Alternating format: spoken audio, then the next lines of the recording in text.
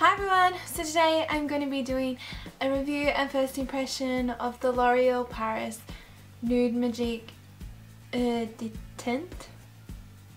This one? It is in colour 120 Pure Ivory. So I hope this is my colour. so what I've done first is I've just primed my skin with the Benefit Pore Filler and now I'm just going to go in with my Benefit Erase Paste and just conceal what I need to conceal and then I'll be starting the foundation. Okay, so I have concealed my face and now with this it says our lightest foundation formula ever so I'm guessing it's not going to be a very like full coverage foundation and it says directions for use shake well before loose before use and then apply a drop to your finger. The Featherlight foundation feels as light and fresh as water, instantly fuses with the skin, blending seamlessly to leave a silky second skin effect. Perfect bare skin look, naturally even shine free look, undetectable coverage, silky soft touch and no makeup feel. It is also non-pore clogging and it is SPF 18. I'm just going to clip my hair back so I don't get my hair in the way. So now I'm just going to shake it. I'm guessing you apply it with your hands since it is supposed to be really watery instead of a brush or a sponge. Oh my god, that is really watery. Okay.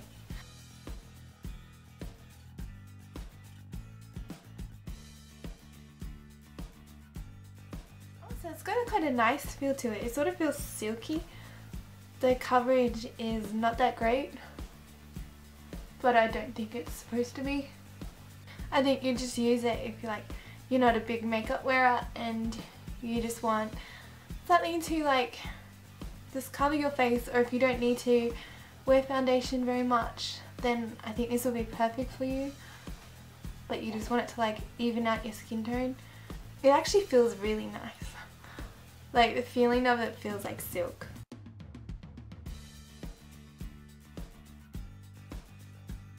So I do have a couple pimples and it's not like fully covered them up but it has. Like it doesn't make them look like they're obvious like some foundations do. I'm not used to applying with my finger. So sorry if I'm doing it the wrong way with my hands. I just, I don't know how else to apply it because it's really runny and it sort of dries quick. So I just want to work on a little bit at a time. And it, honestly, it doesn't feel like you need a setting powder at all. Like I'm someone that uses setting powders with every foundation I use. And this one just doesn't feel like you need one. But I still probably will since that's just what I do. I think I just feel more comfy knowing that I have setting powder and the powder I use also gives it my face just a little bit more coverage than what the foundation does so it'll help with the spots that I want hidden. It seriously feels like you're not wearing anything which is crazy. So I've done a first layer and I'm just going to apply a little bit more to the areas that I would like a bit more coverage and I'm hoping that it is going to cover it a bit. So we will see.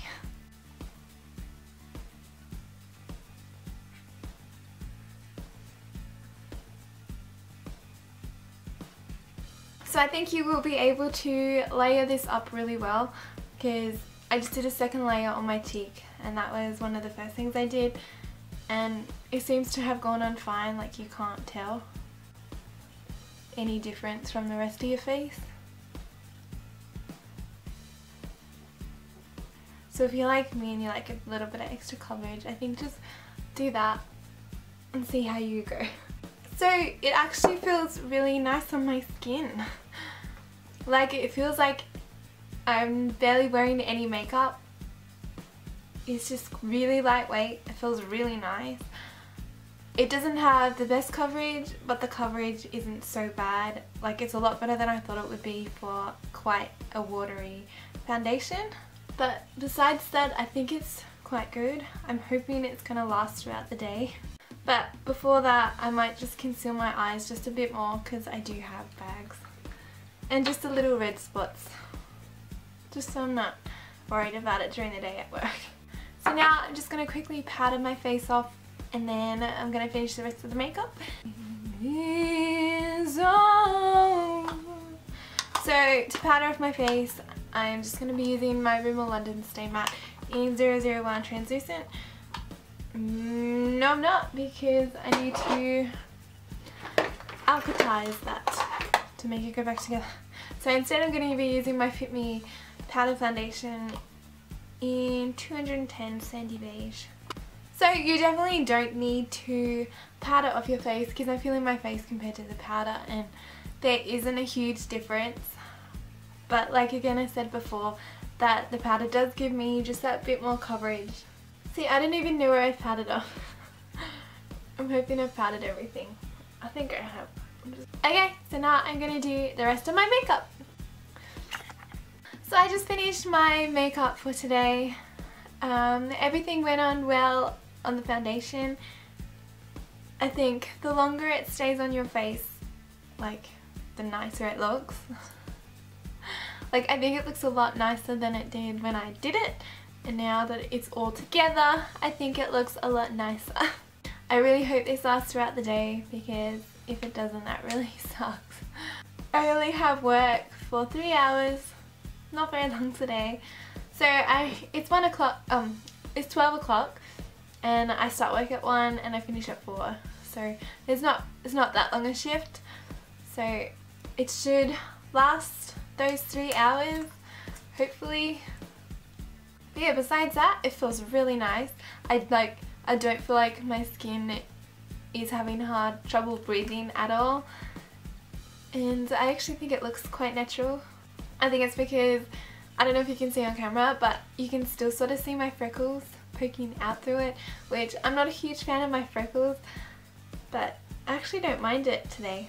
It actually looks okay, I think. Ah, and I'm sorry about wearing my pajama top. I completely forgot to change out of it and it's just so comfy and it's quite a cold day here even though it's summer. So I was just comfy and I didn't even think about it. At least it doesn't look too pajama-y. So I'm going to do the flash test and see what my face looks like with a flash and I'm hoping that it is good.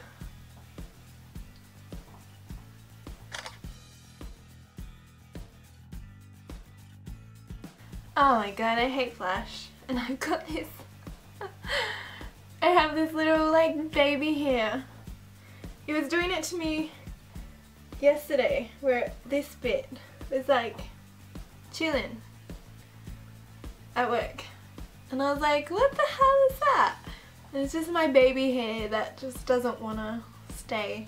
But this little bit's here right now. It looks terrible in the photo.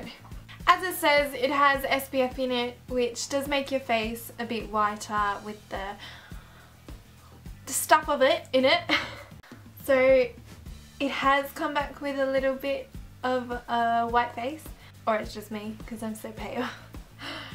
overall it's not too bad.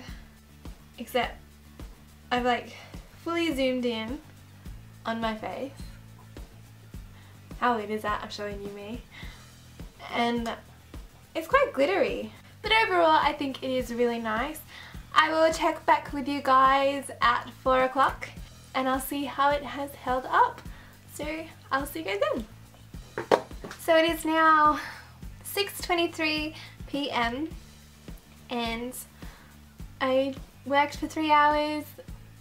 The foundation has held up quite well since it is a light coverage except it is coming off here and it has come off on a pimple on my lip but besides that I would say it looks pretty good. I don't think the makeup looks that patchy or anything and I think it's held up quite well. So I am quite happy with it and I'll probably be wearing this a bit in summer as your makeup melts off your face and it just feels gross so it's nice to have a light cover foundation. So I would definitely recommend using this if you like light covered foundation better.